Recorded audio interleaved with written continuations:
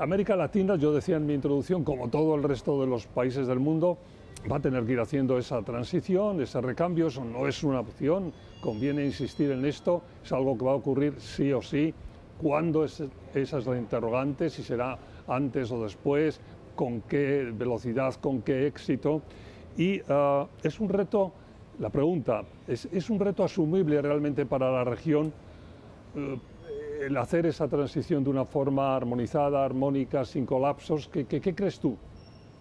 Eh, completamente, José Antonio, no solo por, por el hecho, como decíamos en la introducción, de que América Latina es una fuente indispensable hoy en el mundo de minerales críticos que son indispensables a su vez para la electromovilidad de la transición energética, que son necesarias para la descarbonización, sino porque América Latina, por su propia estructura energética, eh, es una de las zonas de las regiones en el mundo que más eh, energía alternativa limpia genera de por sí. Nosotros tenemos grandes este, recursos hidráulicos y nuestra energía eh, eh, nuestra energía eléctrica es promovida en muchos casos por, por, eh, por, corrientes de agua y podemos implementar por, eh, condiciones climáticas ideales fuentes alternativas vinculadas a energía solar y a energía eólica, que hoy día es una de las fuentes de energía más importantes en el mundo. Si juntamos esas condiciones con los recursos naturales que produce la región, de nuevo, no solo en minerales críticos para la transición energética, sino en petróleo y gas. Curiosamente, en la transición energética vamos a consumir más petróleo para llegar a consumir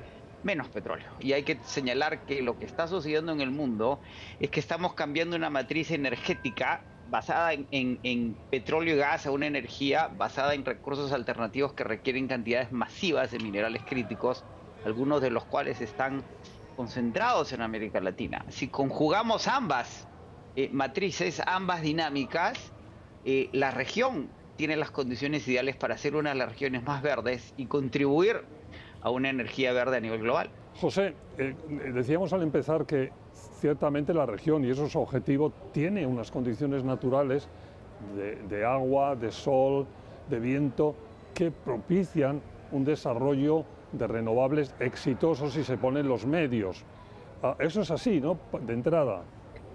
Es correcto, tenemos, como te mencionaba, tenemos eh, recursos hídricos importantes que generan nuestra propia energía hidroeléctrica, pero al mismo tiempo, ah, eh, al mismo tiempo tenemos recursos de gas importantes. Estados Unidos hoy es el mayor exportador de gas licuado en el mundo, eh, superando a Rusia incluso en, el mismo campo que ha sido, que ha experimentado bloqueos por la invasión de Ucrania pero en América Latina tenemos recursos gasíferos importantes en, Guyana, en Venezuela, en Bolivia y en Perú. Y Perú, como, como la zona de Trinidad y Tobago, tienen recursos para licuar y exportar el gas de manera importante. Y por otro lado, los recursos naturales con los que contamos en la creación de energía, particularmente hídricos y de gas natural contribuyen a la producción de hidrógeno verde, que es el hidrógeno que se produce con energía renovable y el hidrógeno verde va a ser clave en esta transición energética en la medida que, José Antonio, los aviones, eh, cuando tengan que reducir su consumo de petróleo, no pueden volar a baterías como los automóviles, van a tener que usar un combustible como el hidrógeno verde que sea mucho más amigable con el medio ambiente y genere menos emisiones. Incluso desde esa matriz, América Latina tiene condiciones privilegiadas y no hemos explotado en la medida que los recursos eh, naturales no los conceden la, energía solar ni la energía eólica. Podríamos tener parques eólicos en las costas eh, del sur del Pacífico tan importantes como los que tiene China en el estrecho de Taiwán o los que se están construyendo ya en virtud de las leyes implementadas por la administración Biden en las costas eh, de Long Island en Nueva York. Es decir, de nuevo, podemos no solo generar energías verdes, y no generar energías verdes que contribuyan a la producción de, minerales críticos, que contribuyan a las energías verdes globales. La clave en la transición energética es cómo producimos más minerales a nivel global sin quemar carbono de la misma manera que lo quemamos ahora. Y América Latina, y de nuevo lo decía el Economist en, una, en un editorial y un artículo que publica hace unas semanas, en donde señala, como mencionaba en el primer bloque, que América, que este podría ser el, siglo latinoamericano en virtud de la riqueza de sus recursos naturales. Decía el Economist también que nuestra relación con nuestros recursos naturales no ha sido la mejor ni la más productiva, siempre nos ha generado más demonios que ángeles. Y la clave es que América Latina en ese ciclo apele más a esos ángeles que a esos demonios. Exactamente, ese es muy buen punto porque es que además un aspecto del que hemos mencionado al empezar también un poco hemos apuntado, que no se está profundizando, que no se está desarrollando, que no se está hablando lo suficiente, es que es una oportunidad para aumentar el desarrollo, para aumentar el negocio, para aumentar el, número de puestos de trabajo, para cambiar completamente el panorama de, una región que tiene dificultades continuamente para subirse de una vez por todas al tren del desarrollo.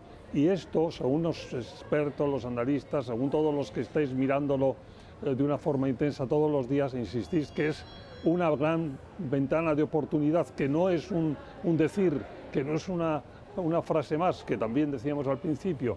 Esto es así, ¿no?